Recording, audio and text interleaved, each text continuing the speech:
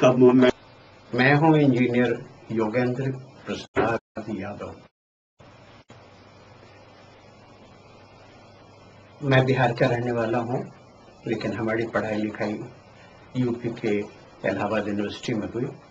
फिर हमने दिल्ली से एम टेक किया और सरकारी नौकरी में लिप्त हो गए। उन्नीस सौ में मैं रिटायर हुआ। उस समय मैं डिप्टी कमिश्नर के पोस्ट पे था। एक टेक्नोक्रेट होते हुए भी डिप्टी कमिश्नर का पोस्ट मिला, ये बहुत बड़ी चीज़ थी। रिटायरमेंट के बाद मैं अपने गाँव चला गया। गाँव में जैसे होता है कि खेती बाड़ी, मैं हाथ में ग्लव्स लगा करके और खेती वेती करता रहता था। एक एक दिन हठात मेरे यहाँ एक ईमेल आया और एक फ़ोन कॉल आया बेल्जियम से। एक एनआरआई ने जो शाहजहांपुर यूपी के रहने वाले हैं, उन्होंने मुझे फ़ोन किया कि आप दिल्ली आ सकते हैं या बॉम्बे आ सकते हैं। मैंने कबूल कर लिया। उस मीटिंग में उन्होंने एक जुनून भर दिया हिंदुस्तानी युवकों के ऊपर। वैसे खुद वे वो हिंदुस्तानी हैं। एनआरआई हैं। लेकिन उनके मन में क्या पैदा हुआ कि एक भारत में आकर 20 साल 25 साल से वो बेल्जियम में रह रहे हैं? इसके बाद तो भारत ने इतना आकृष्ट किया, यहाँ के भ्रष्टाचार ने इतना आकृष्ट किया कि युवकों को में एक जुनून भर दिया। और एक नई पार्टी का उन्होंने कहा कि एक नई पार्टी बननी चाहिए, ऐसी पार्टी जो राजनीतिक विकल्प दे सके। और उस पार्टी का नाम रखा गया भारतीय राजनीतिक विकल्प पार्टी। हिंदुस्तान के 400 युवकों में देश के कोने कोने से केरला, तमिलनाडु आंध्र प्रदेश यूपी बिहार, उन्होंने कंप्यूटर के ज़रिए सबों से संपर्क साध रखा था और सबों से ये पूछ रखा था कि क्या आप करप्शन के खिलाफ लड़ाई लड़ने को तैयार हैं? 400 युवकों ने जब हाँ कह दिया था, तब ये मीटिंग हुई थी। मुझे इस पार्टी का राष्ट्रीय अध्यक्ष बनाया गया। मुझे ये ज़िम्मेदारी दी गई कि आप पार्टी का संविधान बनाइए और एजेंडा बनाइए कि हमारी क्या नीति होनी चाहिए। हमने आपने देखा होगा कि देश में अभी जो पार्टियाँ हैं कांग्रेस पार्टी हो बीजेपी हो समाजवादी पार्टी हो राष्ट्रीय जनता दल हो या डीएमके हो बीजेडी हो ये सारी पार्टियाँ बिल्कुल पुराने ढर्रे पे चल रही हैं। हमने देश को एक नई दिशा देने की कोशिश की अपने एजेंडा के, के माध्यम से अपने विजन के माध्यम से और हमने प्रस्तावित किया कि हमारे देश में जो अभी पार्लियामेंट की स्थिति है, उसके अनुसार से हमारे समाज में परिवर्तन माँगता है। और इसके बारे में अभी थोड़ा सा आपको बता दूँ कि इस परिवर्तन पे कई लोगों ने काफ़ी कुछ चढ़ाव, उतराव, प्रश्न किए थे। मैंने उनसे बताया। उन्होंने पूछा हमसे कि आप इस देश को राष्ट्रपति प्रणाली, मैं राष्ट्रपति शासन की बात नहीं कर रहा हूँ, मैं राष्ट्रपति प्रणाली की बात कर रहा हूँ। विदेशों में आपने सुना होगा कि अमेरिका, फ्रांस, जर्मनी, ऐसे ऐसे देशों में राष्ट्रपति प्रणाली है। मैंने लोगों को समझाया कि देखो अभी जो सरकार है दिल्ली की, वो बहुत ही कमज़ोर सरकार है। क्यों कमज़ोर है? क्योंकि क्षेत्रीय पार्टियाँ उफान पे हैं अभी। सबके सब ऊपर आ रहे हैं। कोई पंद्रह से बीस हो गया, बीस से तीस हो गया इस तरह से ये पार्टियाँ उफान पे हैं। और ये जो सिलसिला है मिली जुली सरकार का, ये आने वाले 20-30 साल में बंद होने वाला नहीं है। इसका मतलब ये होगा कि हमारा केंद्र सरकार बहुत ही कमज़ोर होगा। और किसी भी देश के लिए कमज़ोर केंद्र का होना बहुत ही नुकसानदेह होता है। उस देश की प्रगति, उसका जिसको सबका कहते हैं, या कहिए उसकी प्रेस्टीज, या उसका मान, मापदंड जाता है दुनिया के लोग ही दृष्टि से देखने लगते हैं यहाँ की सरकार अस्थिर है। लेकिन अगर आप राष्ट्रपति प्रणाली से एक राष्ट्रपति का चुनाव करते हैं, हम अमेरिका को नहीं फॉलो करेंगे। हम फ्रांस को नहीं मानेंगे, क्योंकि उनमें भी थोड़ा इनडायरेक्ट इलेक्शन होते हैं। हमने प्रस्तावित किया कि हमारी राष्ट्रपति प्रणाली में जो हमारा राष्ट्रपति होगा, वो डायरेक्ट वोट से पूरे हिंदुस्तान के लोग वोट करेंगे और उससे हमारा चुना जाएगा। अब इससे देखिए, इससे फ़ायदे कितने हैं?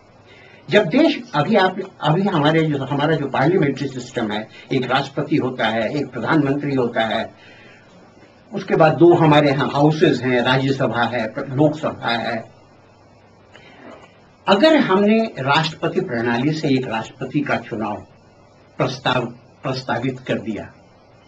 और ये यहाँ की जनता ने इसको अप्रूवल दिया, इसको मान्यता दी। तो इसे देखिए कितने फ़ायदे होंगे। एक ही राष्ट्रपति होगा, प्रधानमंत्री की कोई ज़रूरत नहीं है। अगर आप चाहें तो राज्यसभा की कोई ज़रूरत नहीं अभी जो राज्यसभा की स्थिति है, अच्छे लोग नहीं घुस रहे हैं। पैसे के बल पे लोग घुस रहे हैं। तो राष्ट्रपति प्रणाली में एक और फ़ायदा जो सबसे ज़बरदस्त है कि राष्ट्रपति बिल्कुल मुक्त होगा कि किसी यूनिवर्सिटी से किसी प्रोफेसर को मंत्री बनाए, किसी कॉरपोरेट बॉडी से किसी को बुलाकर मंत्री बनाए। पॉलिटिशियंस के बीच से भी एक अच्छे पॉलिटिशियन को वो चुन सकता है। यानी कि पूरा हिंदुस्तान उसके लिए खुला रहेगा, जहाँ से भी वो चाहे, अपने मंत्रिपरिषद में लोगों को शामिल कर सकता है। और जब जब तक उसका कार्यकाल है, तब तक तो वो उस पद पे कैबिनेट मंत्री कहिए या जो कुछ भी कहिए, उसका नामकरण तो सहूलियत के हिसाब से किया जा सकता है। जब इसका कार्यकाल राष्ट्रपति का खत्म होगा तो ये जितने लोग हैं इनके इनके कैबिनेट में, सबके सब अपनी जगह पे वापस चले जाएँगे। प्रोफेसर अपने यूनिवर्सिटी में चला जाएगा, कोई कॉरपोरेट जाएगा, कोई समाज सेवी है, वो अपनी समाज सेवा में लिप्त हो जाएगा। इससे भ्रष्टाचार से मुक्ति मिलने में बहुत ही सहूलियत होगी। आज नेता लोग भ्रष्टाचारी क्यों हैं? इसलिए कि वो सोचते हैं कि पाँच साल तक हमारी ये नौकरी है। यानी किसी प्रधानमंत्री ने हमें कैबिनेट में रखा है सिर्फ़ पाँच साल के लिए। इसलिए पाँच साल में वो लूट खसोट मचाकर जितना इकट्ठा कर सकता है, वो करने की कोशिश करता है। लेकिन राष्ट्रपति प्रणाली में राष्ट्रपति जो लोगों को अपने कैबिनेट में लाएगा, उसमें ये लालसा नहीं रहेगी। तो उसे पता है कि राष्ट्रपति के जाते ही हम अपने यूनिवर्सिटी में चले जाएँगे, अपने अपनी जगहों पे चले जाएँगे। तो ये सबसे बड़ा फ़ायदा है। इसके साथ ही साथ हमने राज्यों के स्वायत्तता के का भी प्रस्तावित किया है। राज्य में अभी गवर्नर होता है मुख्यमंत्री होते हैं। ठीक केंद्रीय सरकार के तरीकों के आधार पर वहाँ भी हम चाहे तो एक राज्यपाल रखें, मुख्यमंत्री की कोई ज़रूरत नहीं है। लेजिस्लेटिव असेंबली में जो इतने पैसे खर्च होते हैं, उसकी कोई ज़रूरत नहीं है। आज आप आज आप देखते हैं, आए दिन अखबारों में ये छपता है कि राज्य की सरकारें, केंद्र सरकार को दोषी ठहराती हैं कि रोड कंस्ट्रक्शन के लिए पैसा नहीं मिल रहा है, पानी के लिए पैसा नहीं मिल रहा है, अस्पतालों के लिए पैसा नहीं, ये खींचतान खत्म हो जाएगा। अगर आप राज्यों को स्वायत्तता दे देंगे, राज्य कुछ मुद्दों को छोड़कर, जैसे विदेश नीति है, वो सेंटर के मातहत होगा। शिक्षा नीति, पूरे हिंदुस्तान के लिए एक ही शिक्षा नीति जो बनेगी, वो केंद्र के मातहत होगा।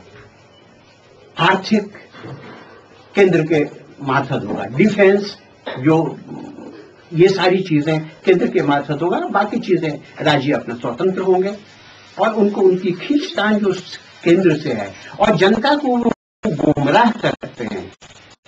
जब इलेक्शन आता है तो जनता को कहते हैं, हमें तो पैसा नहीं दिया केंद्र इसलिए हम आपकी सेवा नहीं कर पाए। ये सब झमेला खत्म हो जाएगा।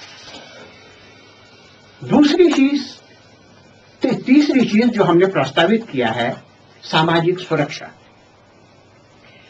सामाजिक सुरक्षा के नाम पर आज आपने सुना होगा, देखा होगा, गाँवों में अगर आप आप लोगों का गाँवों से संबंध है, कि वृद्धा पेंशन के नाम पर 200 और 300 और 400 रुपए दिए जाते हैं। 400 तो शायद ही हमने हमने नहीं सुना है 300 तक सुना है हमने। अब इसमें स्टेक होल्डर जिसको आप दे रहे हैं, उसको कितना पहुँचता है? किसी को दो सौ रुपए का वृद्धा पेंशन मिल रहा है तो उसमें बीच बिचौलिए का भी तो कुछ कमीशन बनता है। कुछ पंचायत लेवल पे जो अधिकारी हैं, वो भी उसमें कुछ खाते हैं। यानी जिस आदमी को वृद्धा पेंशन मिल रहा है, उसे 200 के जगह पे सवा सौ या डेढ़ सौ रुपए मिलते हैं। तो ये आलम है वृद्धा पेंशन का। हमने प्रस्तावित किया है, हम, अगर हमारी सरकार बनती है, अगर लोगों के दिल में ऐसा होता है कि नहीं, देश से भ्रष्टाचार खत्म करना है तो हम खेतीहर मजदूरों, सड़कों पे जो काम करते हैं मजदूर, या किसी भी तरह के मजदूर पर, मैं किसानों की बात नहीं कर रहा हूँ, मैं मजदूरों की बात कर रहा हूँ। इन सबों को जैसे सरकारी सरकारी मुलाजिमों को पेंशन मिलता है, मैं इनको पेंशन देने का प्रस्ताव रखता हूँ कि हमारी सरकार इनको पेंशन देगी। अब देखिए, विदेशों में क्या होता है?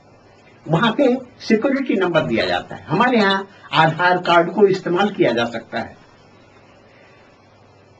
कोई जो सरकारी कर्मचारी है, उसके जितना तो आप उसे पेंशन दे नहीं सकते। उसकी शिक्षा, उसका सामाजिक स्तर, उसने कितना, जैसे सरकारी कर्मचारियों का का कुछ पैसा कटता है, सरकार काटती है तो उसके आधार पर इनका भी पैसा कुछ कटेगा। जैसे मान लीजिए किसी की दो दो सौ रुपए की दिहाड़ी है। तो जब जब हम ये सामग्रियों में समानता होगी, एक जैसी डिग्री होगी, ऐसा नहीं कि कोई यूनिवर्सिटी उसे स्वीकार नहीं कर रहा हो, क्योंकि सबका स्टैंडर्ड एक ही होगा। साथ ही साथ, अभी हम लोग के साथ एक और दिक्कत है कि विदेशों में हमारी डिग्रियों की मान्यता नहीं है। अगर हमारा सिस्टम एजुकेशन सिस्टम अगर सही पटरी पे आ गया, उसमें उससे हमारे विद्या महाविद्यालयों के के स्नातकों का की मान्यता बढ़ जाएगी विदेशों में। तो ये सब चीज़ें इस देश को नई दिशा की ओर अग्रसर करते है। बड़ी चीज़ चुनावों में जो चुनाव आने वाले हैं उनमें आपके सबसे मुख्य उद्देश्य क्या होंगे? पाँच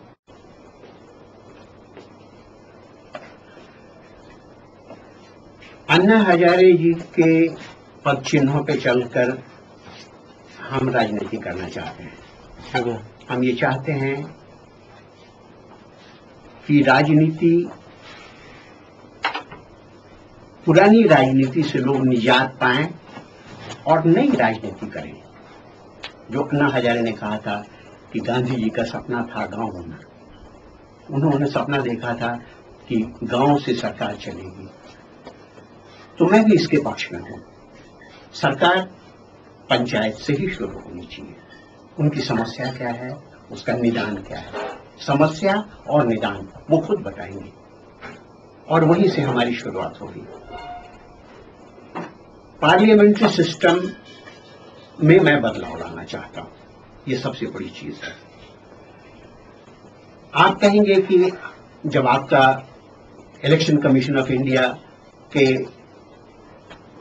नियमों के अनुसार मुझे भारत के संविधान में आस्था रखनी है उसमें बदलाव करने की इजाज़त नहीं है। तो हम अभी जो इलेक्शन लड़ेंगे, वो हम इसी संविधान के हिसाब से लड़ेंगे। लेकिन अगर हमें पद्धति में कोई बदलाव लाना है तो अमेंडमेंट्स होंगे। जिस तरह से बहुत सारे अमेंडमेंट सैकड़ों अमेंडमेंट्स हो चुके हैं ज़रूरत के हिसाब से। तो ये अमेंडमेंट्स होंगे। हम दिशा को राष्ट्रपति प्रणाली के माध्यम से एक नई दिशा देना चाहते हैं। जैसे हैं पूरी। किसी भी राजनीति सफ़र की किसी में युवाओं का अहम योगदान होता है तो युवाओं के लिए आपकी पार्टी क्या करेगी क्या उद्देश्य होंगे युवाओं के लिए? सबसे पहली चीज़ तो ये कि आपको ये बता दूँ कि हमारी पार्टी ने युवा को एक नई परिभाषा दिया है। 18 साल से लेकर 50 साल के उम्र तक के लोगों को हमने युवा करार दिया है और इसका कारण है। 50 साल की उम्र तक लोग, लोगों में काम करने की क्षमता रहती है। उसके बाद थोड़ा ग्राफ नीचे जाता है। इसलिए 18 साल से 50 साल तक के युवा माने जाएँगे और हमारी पार्टी में 75 परसेंट, पचहत्तर प्रतिशत पोस्ट या पार्लियामेंट की सीट या असेंबली की सीट युवकों के हाथ में होगी। 50 प्रतिशत हमने महिलाओं की भागीदारी रखी है। आपने युवाओं पे सवाल किया है तो मैं आपको बताऊँगा। कुछ दिन पहले मैं और उस समय बराक ओबामा वहाँ के राष्ट्रपति नहीं थे और वहाँ के टीवी चैनल को मैं हमेशा देखा करता था। उनका जो एंकर था, वो कहता था कि 54 percent of the American youth they are going to favour Barack Obama. And we hope he will be successful जब उनका इलेक्शन हो गया, उसके बाद भी जब हमने उनके एंकर का सुना तो उन्होंने यही कहा था कि हमने फोरकास्ट किया था ना, कि चौवन प्रतिशत युवाओं का सपोर्ट मिला बराक ओबामा को, और सफ़ेद लोगों के देश में एक काला आदमी राष्ट्रपति बन गया। आप सोचिए, जब रामलीला मैदान में आंदोलन चल रहा था श्री अन्ना हजारे का पचासी प्रतिशत युवकों ने वादा किया था कि हम आपके साथ हैं। आप खुद सोचिए कि जब चौवन प्रतिशत सत्ता परिवर्तन कर सकता है तो पिछहत्तर प्रतिशत क्या करेगा? पचासी प्रतिशत क्या करेगा?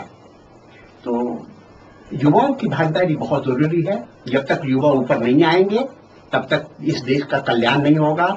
हमारे जैसे उम्र दराज लोगों को राजनीति से संन्यास लेना चाहिए, युवाओं को वक्त देना चाहिए, वो नई भावनाएँ आएँगी, वो गलती करेंगे, वो सीखेंगे।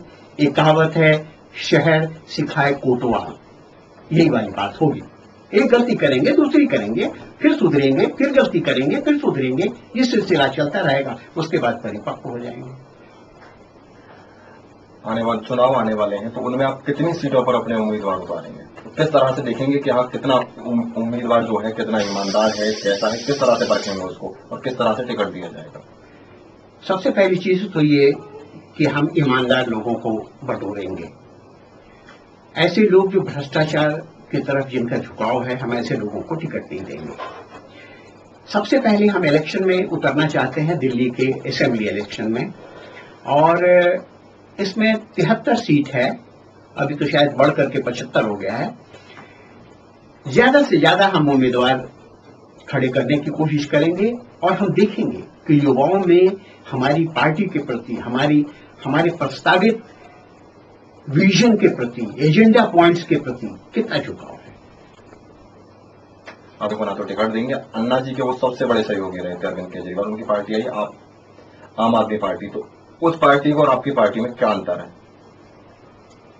अभी तो ये कहना बड़ा मुश्किल है कि हमारे एजेंडा को हमारे विजन को उन्होंने नहीं देखा है उनके विजन को हमने देखा है तो बहुत ज़्यादा अंतर नहीं लगता है लेकिन शायद उन्होंने राष्ट्रपति प्रणाली को प्रस्तावित नहीं किया है जो कि हमारी पार्टी करने जा रही है। और इस देश के लिए कल्याण का सिर्फ़ एक ही रास्ता है कि जब तक यहाँ की जनता राष्ट्रपति प्रणाली में नहीं घुस जाती तब तक यहाँ का आएगा क्या है बेसिक कॉस्टिंग खर्चा इसमें